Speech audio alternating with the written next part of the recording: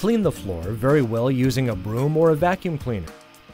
The cleaner the floor is, the better your finish will look at the end. At this stage, it is preferable not to wear shoes. Before staining, you may want to apply a special wood sealer to the flooring. This is especially important if you are applying the stain to a soft wood such as pines, or if you are applying dark stain. You can use Varathane wood conditioner.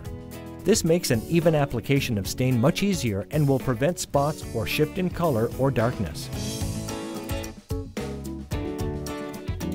You absolutely need to test the stain on the wood surface before applying it.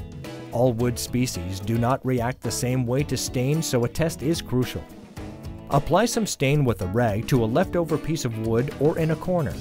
Wait for the stain to dry before an evaluation.